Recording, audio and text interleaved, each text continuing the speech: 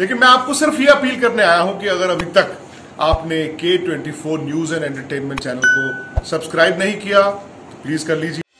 उत्तरकाशी पुरोला में सांप्रदायिक तनाव कम होने का नाम नहीं ले रहा है। पुरोला में नाबालिग हिंदू लड़की के अपहरण की कोशिश के आरोप में दो समुदाय विशेष के युवकों की गिरफ्तारी के बाद माहौल दिन ब दिन खराब होता जा रहा है। पिछले कुछ दिनों से समुदाय विशेष के व्यापारी अपनी दुकान खाली कर पलायन कर चुके हैं। अब शहर छोड़ने वालों में बीजेपी नेता भी शामिल हो गए हैं। पच्चीस सालों ऐसी पुरोला में रह रहे बीजेपी नेता मोहम्मद जाहिद, बीजेपी के अल्पसंख्यक मोर्चा के जिला अध्यक्ष हैं। वो अपने कपड़े की दुकान खाली कर परिवार के साथ पुरोला ऐसी निकल गए हैं।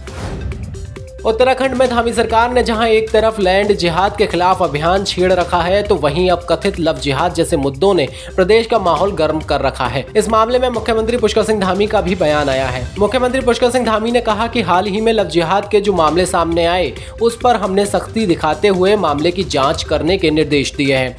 सीएम धामी ने कहा की उत्तराखंड राज्य में जो डेमोग्राफिक बदलाव हुआ है, उस पर भी ध्यान दिया जा रहा है। इसलिए प्रदेश में सत्यापन अभियान चलाया जा रहा है। जो भी संदिग्ध सामने आ रहा है, उसकी जाँच की जा रही है जाँच में यदि किसी व्यक्ति की इस तरह के कामों में संलिप्तता पाई जाती है तो उसके खिलाफ कार्रवाई की जाएगी डीडी डीडीहाट विधानसभा के अटल गाँव निवासी दीपा चौफाल विगत 7 जून से लापता हैं। दीपा चौफाल आंगनबाड़ी में आशा कार्यकर्ता हैं। सात तारीख को सुबह चौबाटी एनएम सेंटर बच्चों को टीका लगाने गई थी। उसके बाद से दीपा का कोई अता पता नहीं है। गाँव प्रधान भूपेंद्र प्रसाद ने के ट्वेंटी न्यूज़ को बताया कि दीपा चौफाल की गुमशुदगी की रिपोर्ट डीडीहाट थाने में दर्ज करवाई गई है। दीपा चौफाल के दो छोटे छोटे बच्चे हैं। वहीं दीपा के गुमशुदा हो जाने से घर वाले भी काफ़ी परेशान हैं। आप सभी से अनुरोध है कि अगर आपको कहीं भी दीपा चौफाल दिखें तो दिए गए नंबरों पर संपर्क ज़रूर करें।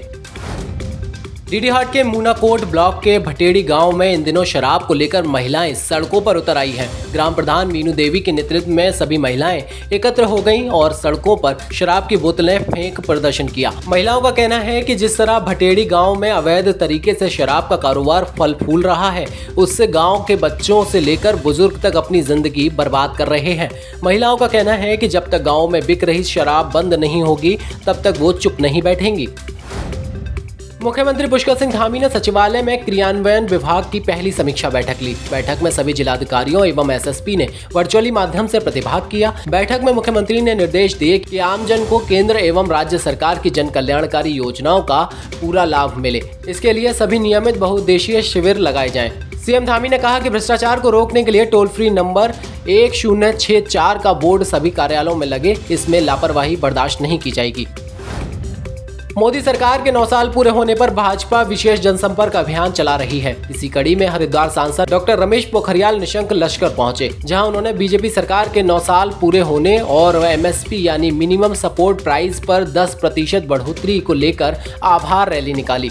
कार्यक्रम में सांसद निशंक ने बतौर मुख्य अतिथि के रूप में शिरकत की। इस दौरान सांसद निशंक ने ट्रैक्टर पर बैठकर किसानों और भाजपा कार्यकर्ताओं को संबोधित भी किया। तो ये थे आज की फटाफट न्यूज़। ऐसी ताज़ा तरीन खबरों के लिए हमारे YouTube channel K twenty news and entertainment को सब्सक्राइब ज़रूर करें। साथ ही हमारे Facebook page K twenty news and entertainment को फॉलो भी करें। मैं आपको सिर्फ़ ये अपील करने आया हूँ कि अगर अभी तक आपने K twenty four news and entertainment channel को सब्सक्राइब नहीं किया तो प्लीज़ कर लीजिए।